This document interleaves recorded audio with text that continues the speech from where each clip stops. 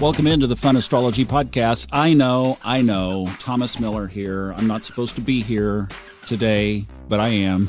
I couldn't, you know me. I will take time off this week, I promise, but something came up that I wanted to address today because I didn't want to leave this loop open, actually.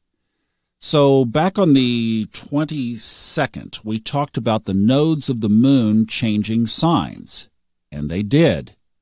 And if you look on a chart today, you might see that the nodes are still in Sagittarius and Gemini. And they are. So what's going on? Who broke the nodes? the nodes are just fine. Here is what's going on. And you may have noticed this and might have been confused by it. But there are two ways that you can calculate the nodes of the moon. So we have to take a step back again and to identify what the nodes of the moon are. So let's visualize the Earth in space. And the Earth and every other planet basically revolves around this, what's called the ecliptic line. See, magically, millions and billions and trillions and gazillions of years ago, when the Earth was created, however it was created, all of our, the planets in our solar system just magically fell into the same orbit, the same circle around the sun. That's called the ecliptic line.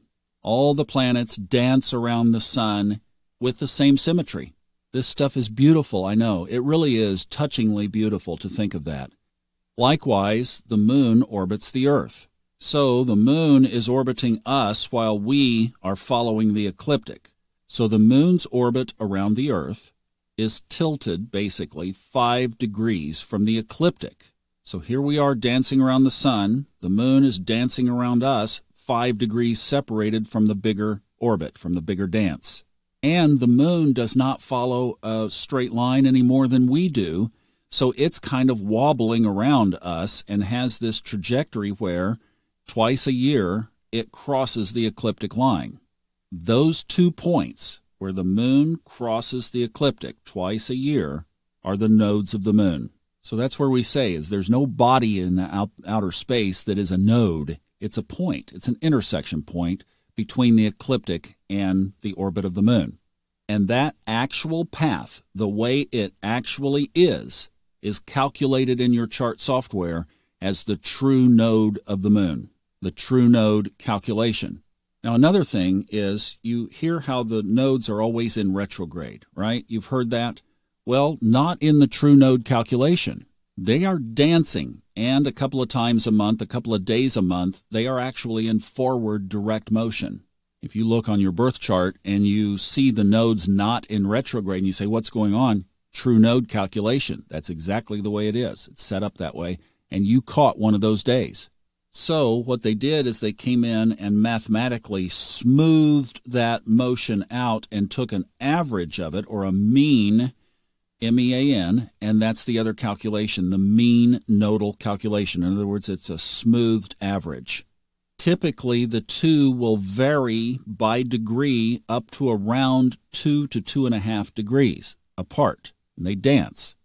Right now, the mean node calculation is ahead of the true node calculation by about 1 degree 24 minutes.